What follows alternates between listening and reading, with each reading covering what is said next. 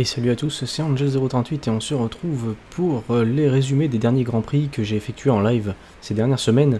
Et tout d'abord on va commencer par le Hungaroring qui euh, s'est déroulé sous la pluie, en, partie en tout cas. Euh, qualification qui était sur le sec où j'ai pu me qualifier quatrième. départ du Grand Prix qui s'est plutôt bien passé, Hamilton qui a gardé, su garder la tête au premier virage devant Bottas. On a été un petit peu au coude à coude avec Verstappen et même Verstappen qui est sur la trajectoire euh, j'essaye de faire attention de ne pas m'accrocher avec le pilote autrichien. Euh, euh, le pilote autrichien, le pilote de la Red Bull, voilà. Et donc du coup j'arrive à, conserver la troisième place. c'est quand même pas évident parce que la voiture glisse énormément. Et, du coup je, vois Verstappen me passer dans cette partie du circuit où on a le virage un petit peu en montée. c'est un petit peu technique ici. Et, donc c'est chaud un petit peu avec le, pilote Red Bull.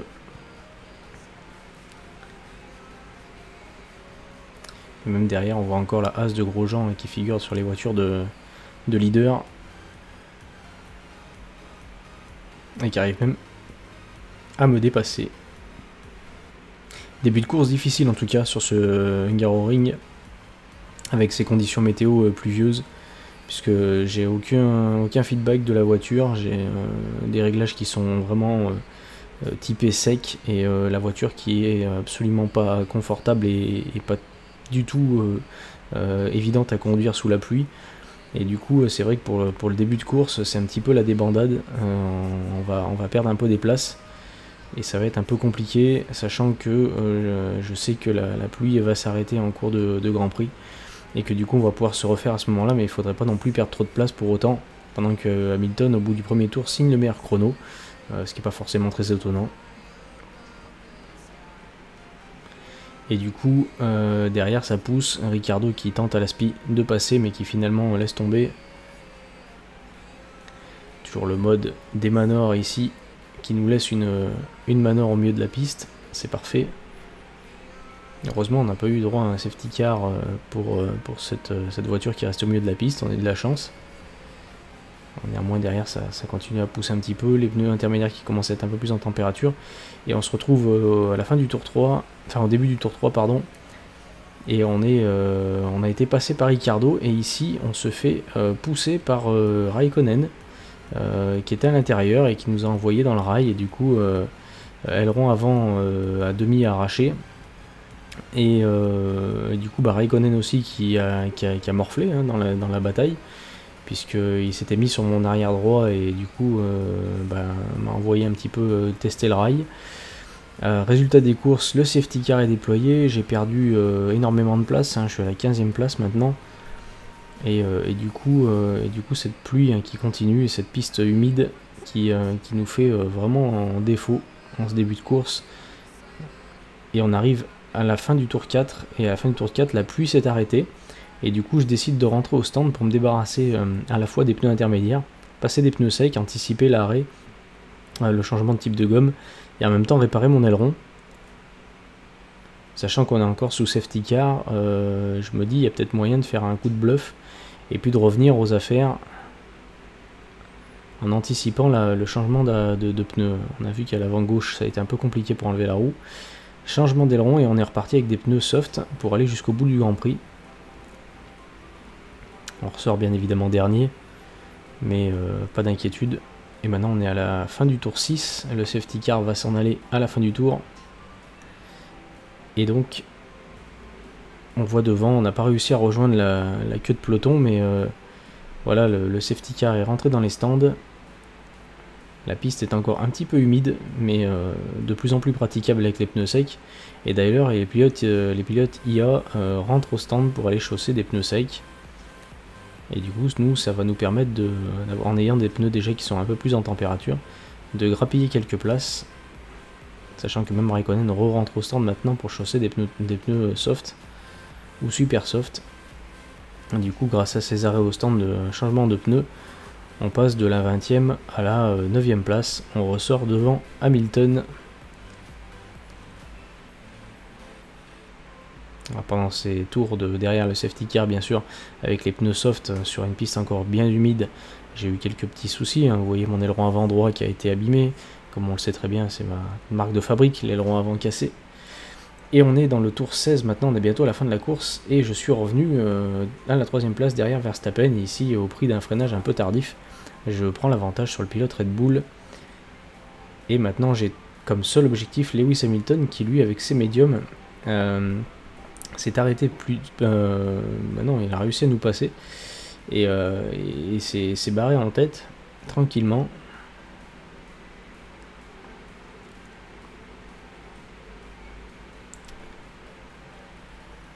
On est un petit peu sorti au large ici. Et on est dans le dernier tour maintenant. Et on est toujours euh, deuxième derrière Hamilton. Et devant Verstappen. Et attention le, carburant qui clignote rouge. Il faut qu'on puisse passer la ligne de départ arrivée. Parce que derrière il y a un petit wagon. Avec trois voitures, pas moins. Qui voudraient passer. Et les pneus qui sont bien usés, hein, surtout à l'arrière. Et on va finir à la deuxième place. En n'ayant plus de carburant. On a vraiment eu du pot. Et du coup, ce Hungaroring qui se termine euh, moins pire que ce que j'aurais pu imaginer, puisqu'on fait euh, la deuxième place, et donc au classement général des pilotes, on reste deuxième derrière Lewis Hamilton. C'est Valtteri Bottas qui reprend des places sur notre coéquipier, qui lui, par contre, n'a bah, pas réussi à remonter, franchement. Euh, Verstappen qui a remonté aussi, Stoffel Van Dorn qui est descendu, Alonso qui a remonté, Massa et Magnussen qui ont dégringolé aussi. Et du coup, au constructeur, qu'est-ce que ça donne? Au constructeur, on a toujours Mercedes qui est devant et on est deuxième devant As, Williams, Red Bull qui prend une place, McLaren qui descend. Euh, derrière, on retrouve les Force India, Sauber, Renault, Toro Rosso et euh, bah Manor. Hein, voilà. Et on se retrouve maintenant sur le circuit d'Allemagne, sur le Hockenheim Ring, avec encore de la pluie et une qualification où j'ai pu me qualifier, euh, mettre troisième sur la, grille de départ. Et donc, ben voilà, course départ sur, sur, sur, sur, pluie avec les foulouettes et je glisse au départ et je perds énormément de place. Donc là, je me retrouve un sandwich entre deux McLaren. Du coup, on fait la boule de flipper entre les deux voitures, on se fait percuter. Et euh, bon, bah, l'aileron est un peu endommagé à l'avant, mais euh, c'est pas pire. Et du coup, ça annonce une course qui va être euh, bien épique et compliquée. On se retrouve maintenant à la fin du tour 4 hein, et on est toujours 18ème. On n'a pas réussi à remonter les pilotes qui sont devant. Euh, derrière, on a Palmer qui est un peu loin avec sa, Renault, donc on est assez tranquille. Et on cherche la, trajectoire un peu plus sèche hein, pour pouvoir euh, avoir ses pneus euh, un peu plus en température et essayer de recoller au, au wagon devant, mais c'est un peu compliqué. Et on a Verstappen qui abandonne et le safety car qui est déployé. Et du coup, on va pouvoir faire quelques tours derrière safety car et essayer de recoller au, wagon devant. Hein. C'est un peu une opportunité à revenir un peu aux affaires. Et Verstappen qui du coup euh, a abandonné. Et toujours cette histoire de gap quand il y a un safety car qui sort qui nous fait chier. Et on est au à la fin du tour 7 maintenant, le safety car s'en va. On a réussi à recoller un petit peu au wagon. Ça a été, euh, ça a été laborieux. Et entre temps, on est rentré au stand de mettre les pneus intermédiaires d'ailleurs. Parce que la pluie s'est un petit peu apaisée. Mais, euh, il pleut encore un petit peu. Hein. Et on a euh, quelques pilotes au stand qui changent de gomme. Alors qu'il y a la reprise. Comme à chaque fois finalement dans les fins 2016. Euh, L'IA qui rentre au stand quand le safety car s'en va. Et on se retrouve euh, à la 13e place aux côtés de Pérez. Et devant nous on a Felipe Massa, Van Dorn,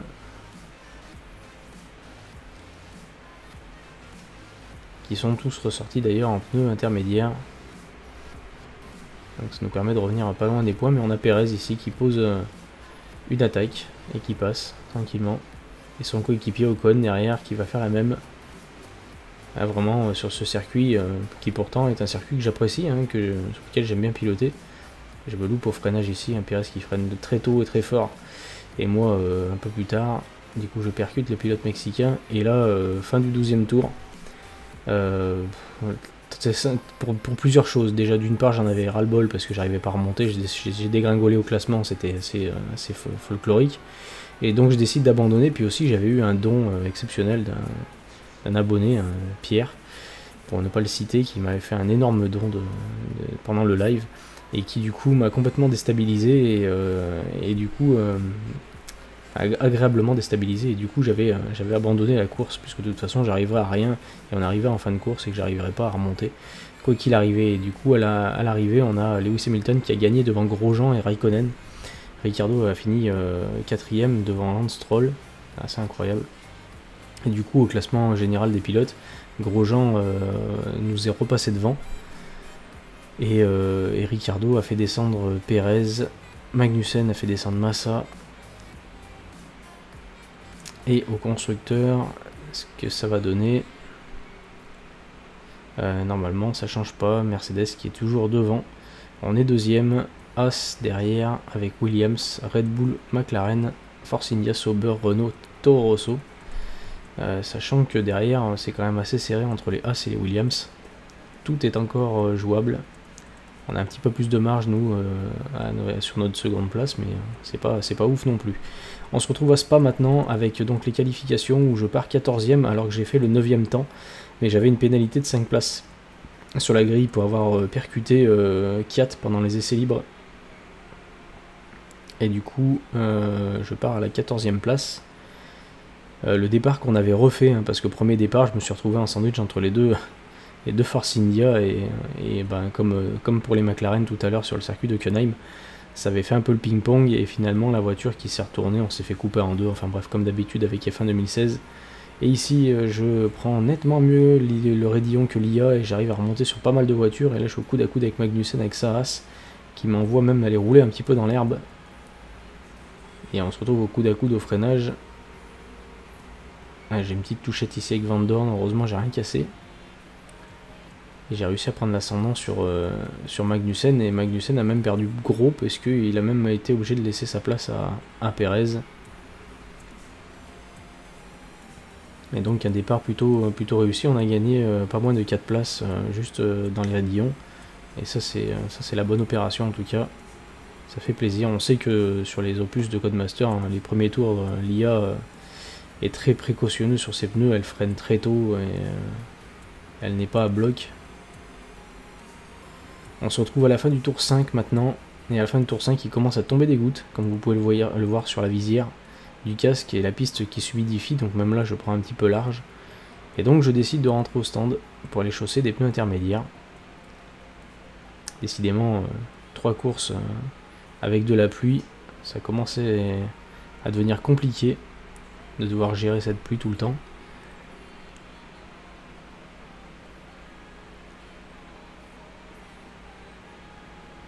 Pour l'instant, pas d'autres pilotes ont, tenté l'expérience. On a Stroll là devant qui, euh, euh, tente euh, aussi d'entrer au stand. Je sais pas s'ils ont tenté de chausser, apparemment ça, va chausser des inters. Ah non, Stroll qui est ressorti en soft. Donc l'IA qui a fait un arrêt au stand au moment où la pluie commence à tomber pour rechausser des pneus secs. C'est très très très intéressant de la part de, l'IA. Alors nous on est un petit peu en galère en, sortie de stand puisqu'on a les, les, pneus intermédiaires sur une piste qui est pas complètement mouillée. Et donc on va essayer de, de tenir la voiture le temps que les pneus se mettent en température et qu'ils ne s'usent pas trop d'ailleurs, et que la piste s'humidifie de plus en plus. Et puis euh, on a fait notre course tranquillement et on se retrouve euh, dans le dernier tour avec donc euh, le leader Bottas qui qui est passé, ainsi que Raikkonen. Raikkonen qui a été un peu plus vite que nous sur la fin de la course.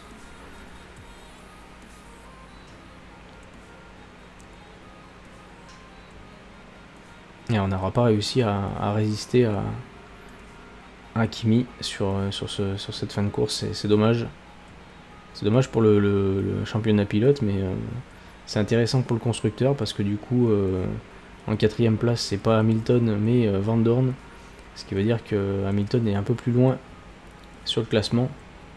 Et du coup, ben du coup, tout simplement, ça permet à Ferrari de marquer des gros points sur ce Grand Prix de Spa pas le maximum des points en tout cas, mais, euh, voilà, donc on, va arriver à la fin du tour avec euh, donc une deuxième et une troisième place pour l'écurie. Euh, ce derrière Ferrari. Et donc drapeau à damier. Et la course est terminée.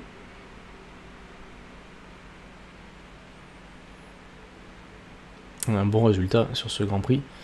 Euh, de Spa. Et comme vous pouvez le constater, je finis deuxième, ce qui veut dire que Kimi Raikkonen est vainqueur et donc Mauricio Arrivabene qui, qui se congratule de ce résultat, puisque visiblement Bottas a pris une pénalité, puisque donc Kimi Raikkonen gagne la course, on finit deuxième et euh, le troisième n'est autre que Bottas. Dommage pour Mercedes, euh, allez savoir ce qui s'est passé. Et ce qui fait qu'au bilan comptable, je reprends la deuxième place. Euh, au profit de, enfin, au détriment de, Grosjean. Raikkonen remonte à la quatrième place, ça aussi c'est plutôt intéressant. Et euh, par contre, Bottas lui descend euh, et, la Scuderia Ferrari marque des points et revient un peu plus près des Mercedes. Et on se retrouve à Spa, à, Spa, à Monza maintenant. Monza, le temple des Ferrari, où on n'a pas réussi à prendre la première ligne. les Ferrari ont dû se contenter de la deuxième ligne et on revient ici sur euh, Hamilton, Hamilton qui avait loupé son départ et Bottas qui s'est envolé comme une fusée. Et on se fait harponner ici par euh, Ricardo et on fait carrément du deux roues avec la, Ferrari. Et un départ qui commence déjà euh, sur les chapeaux de roue et un safety car qui entre deux tout de suite dès le début de la course puisqu'apparemment dans la première chicane il y a eu un sacré carton. Et visiblement Raikkonen qui a aussi perdu un gros dans la bataille, hein, qui a l'air qui a l'air d'y avoir laissé des plumes. Et on est euh, à la fin du quatrième tour et le safety car va s'effacer. Donc je reste bien à l'aspiration derrière les, trois monoplaces qui sont devant, donc Bottas, Hamilton, Ricardo. Et à la réaccélération, dans la courbe à droite, ici, je perds un petit peu la voiture. Et j'arrive à rester dans la speed Ricardo. Et je vais euh, à l'aspiration doubler le pilote Red Bull. Voilà, une bonne chose de faite. Et me porter à la hauteur d'Hamilton au freinage mais euh, on connaît euh, Hamilton et son sens du, combat en piste, et du coup Hamilton nous invite à aller tester le bac à gravier, et du coup on se retrouve de passer de la troisième à la neuvième place. Merci Hamilton. Alors on s'en sort pas si mal finalement, parce qu'on n'a rien cassé sur la voiture. Euh, ni pour nous, ni pour qui que ce soit. Raikkonen est septième, hein, vous pouvez le constater au passage. Donc le premier tour qui a été assez laborieux pour Raikkonen. Et on se retrouve maintenant à la fin du tour 13, donc dernier tour. On est dans les derniers euh, hectomètres de course. Et on n'aura pas réussi à remonter mieux que cette quatrième place derrière euh, donc les deux Mercedes Ricardo. Et derrière on a Stroll, donc un, doublé Mercedes ici chez, chez Ferrari. Ça c'est pas une bonne nouvelle. Massa qui abandonne juste à la fin. Euh, on limite la casse avec la quatrième place, hein, parce qu'on était descendu à la neuvième place suite à l'accrochage avec Hamilton. Euh, cependant, euh, faire un tel résultat chez, les Ferrari, c'est pas terrible. Et donc au classement pilote, pour l'instant Hamilton, ben, du coup on profite pour reprendre un petit peu d'avantage sur nous. Derrière Grosjean est toujours à la troisième place. On est à quelques, une petite vingtaine de points d'écart. Bottas est remonté derrière Grosjean. Et pour l'instant Ferrari qui est toujours à une centaine de points de Mercedes. Et pour finir, on va faire le Grand Prix de Singapour. Grand Prix de nuit où on a fait la pole. Et on va s'élancer euh, pas trop mal, même si Bottas, une fois de plus, s'élance euh, telle une fusée, littéralement.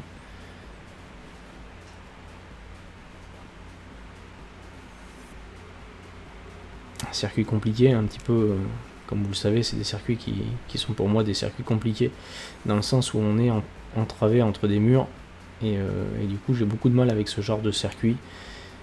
Mais euh, bon, du coup je m'en suis plutôt bien, plutôt bien sorti euh, cette fois-ci.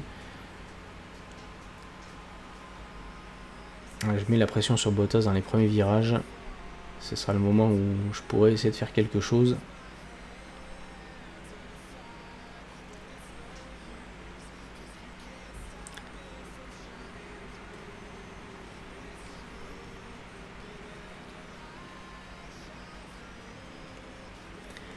Et derrière, ça, klaxonne hein, Lewis Hamilton qui est là et qui gesticule dans, son baquet pour dire Oh, t'es trop lent, laisse-moi passer.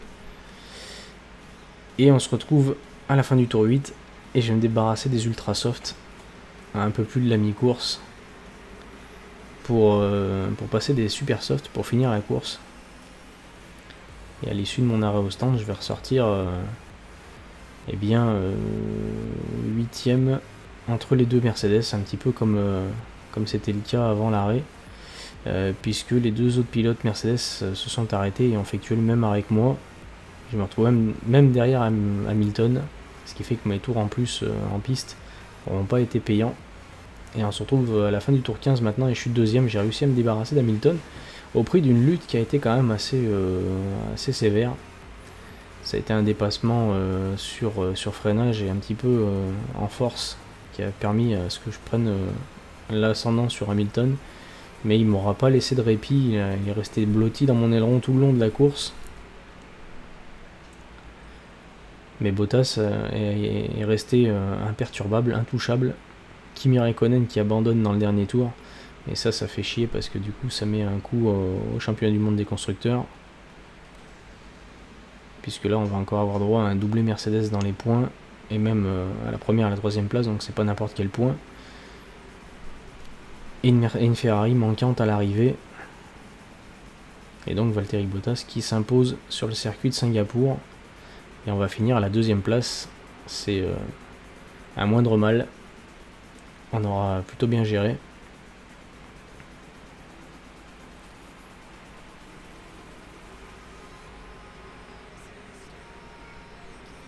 Et donc le, classement euh, général pilote, on est toujours deuxième. Valtteri Bottas continue sa remontée, il fait descendre Grosjean à la quatrième place. Euh, Verstappen qui remonte aussi, qui fait descendre son coéquipier. Euh, Alonso qui remonte et qui fait descendre Magnussen. A à savoir aussi qu'au fil de ces courses, on a fait des améliorations sur la voiture. On a fait une amélioration aéro sur la monoplace, aéro avant, si je dis pas de bêtises. Et donc euh, là, l'objectif euh, prochain, ça serait de faire des améliorations moteurs, mais ça va être compliqué parce qu'il faut beaucoup de points. Et vu que je fais pas l'entièreté des essais libres, euh, ça va être compliqué de réussir à réunir suffisamment de points pour faire toutes les évolutions moteurs. Donc on va se concentrer sur les petites évolutions aéro pour tenir jusqu'à la fin de la saison. Et puis on verra si on arrive à, revenir sur les Mercedes d'ici la fin de la saison. Voilà donc le résultat ici, constructeur, les Mercedes toujours devant les Ferrari. 121 points d'écart, ça commence à faire beaucoup. Et donc voilà, j'espère que cette vidéo vous aura plu. Je vous dis à très bientôt pour la suite de notre saison sur F1 2016. En attendant, portez-vous bien. Salut à tous.